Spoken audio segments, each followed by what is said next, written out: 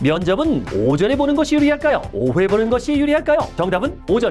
이지심리학자 김별 교수의 설명을 보면요. 오전에는 면접관들이 상대적으로 다른 지원자에 대한 정보가 많지 않습니다. 그런 만큼 지원자는 자신의 장점을 어필할 수 있죠. 시간이 흐르고 점심시간이 지나면 면접관들은 진화합니다. 오전 면접자 중에서 눈에 띈 일부 지원자의 장점을 결합해서 가장 우수한 이상적인 지원자를 상상합니다. 오후 면접자는요. 오전 지원자 개개인과 경쟁하는 것이 아니라 어벤져스와 경쟁할 수 있다는 얘기 계획입니다. 지원자 한 명에게 주어진 시간은 많지 않습니다. 면접관은 오전에 들은 내용을 오후에도 들으면 흥미가 떨어지고 평가가 박하게 나올 수밖에 없답니다. 면접관은요 정답을 들으려고 하는 것이 아닙니다. 그들도 사람이죠? 뻔한 식상한 대답보다는 신선하고 참신한 답을 듣길 원합니다. 같은 질문에 이 서너 가지로 다르게 대답해보는 훈련을 꾸준히 해보세요. 스터디를 통해서 다른 친구 입에서 나온 이야기는 절대 따라하지 말고 나만의 대답을 찾으려고 노력하세요. 그럼 오히려 오후에 지루해하는 면접관의 마음을 더 사로잡을 수 있을 겁니다. 면접에서 많이 나오는 질문 어떤 꿈을 갖고 있나요? 라고 묻는다면 당신은 어떻게 대답하시겠습니까? 댓글로 남겨주세요.